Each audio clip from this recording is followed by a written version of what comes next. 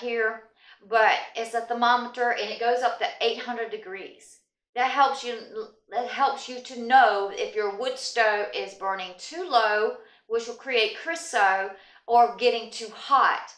Uh, so this will help me when it's curing to know um, to know about that temperature of going up to 500 degrees to help this uh, cement gasket to cure.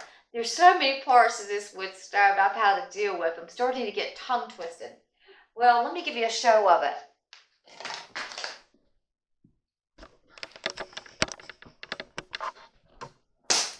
So there's the pad, and it's for fireplaces.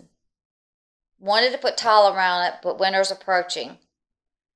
This is the DuraPlus DuraVent from DuraPlus.com double wall black stovepipe.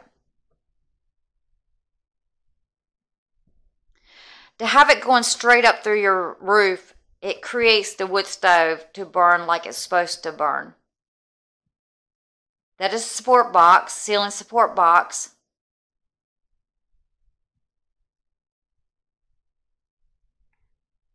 It's, it's double.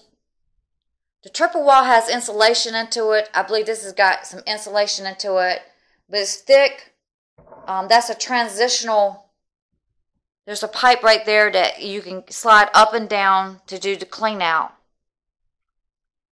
It's connected all in one, so you just slide it down, undo the screws up there, and then slide it down. And good thing to take a, a trash bag, put a hole in the bottom of it, take your brush, stick it through it, and so all the debris will fall down. The chimney is triple wall and it's insulated. And what happens is with the, the double wall and the triple wall, it creates the airflow. It creates so it's it's about that thick. It's really thick. It's not your standard. Your standard you'll have to replace. It's not safe. It's a you know they're just flimsy and they rust real fast and corrode. So I wouldn't advise that. Well, guys, I'm so happy about this wood stove. I cannot wait to start a fire. I wish it was, you know, I could do it right now and end this video with the fire going. But unfortunately, I can't.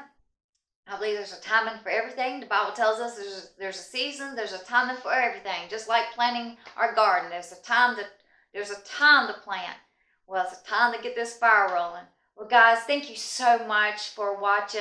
Thank you so much, and please subscribe. Please hit that hit that notification bell so that when I upload a video, you'll know when I'm sending one out there. And please share Please give me a helping hand. Thank you so much. And remember what I always say make it a great day. God bless you and have a wonderful day.